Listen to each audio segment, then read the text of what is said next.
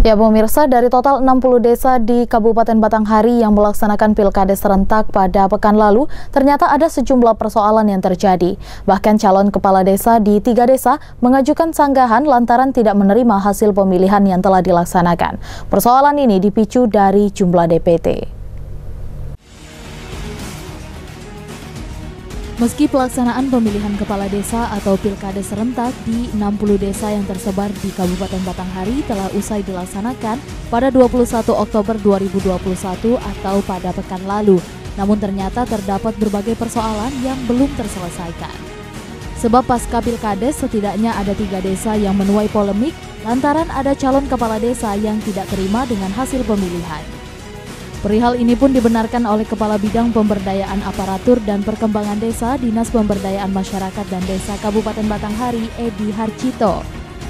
Sejauh ini diakui ada tiga desa yang mengajukan sanggahan ke panitia pilkades, di antaranya Desa Singkawang, Kecamatan Muara Bulian, dan Desa Olak Besar, Kecamatan Batin 24 di mana oknum calon kepala desa di dua desa ini tidak terima dengan hasil pilkades lantaran terdapat sejumlah warga yang tidak bisa menyalurkan hak suaranya.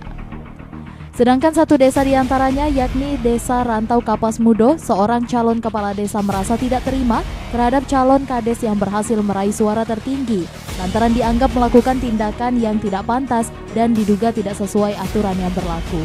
Namun terkait sanggahan ini, Dinas PMD sendiri masih menunggu proses atau langkah panitia pilkades di tingkat desa dan kecamatan sesuai peraturan Bupati nomor 32 tahun 2021. Bahwa sanggahan itu disampaikan kepada panitia pemilihan tingkat desa. Nah, kemudian panitia pemilihan tingkat desa wajib menjawab. Nah, ketika calon kepala desa tidak puas dengan jawaban dari panitia pemilihan tingkat desa, maka dapat mengajukan kembali kepada panitia tingkat kecamatan. Jauh nantinya jawaban panitia tingkat kecamatan itu bersifat final.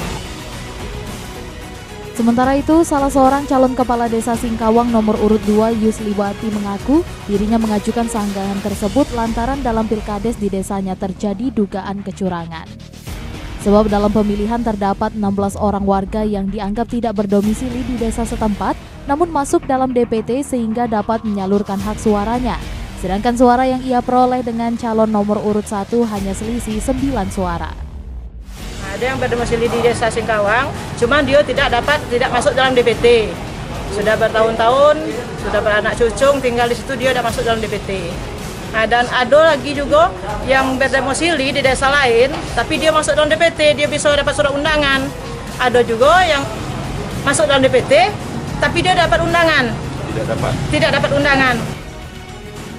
Joni Firdaus, JEK TV melaporkan.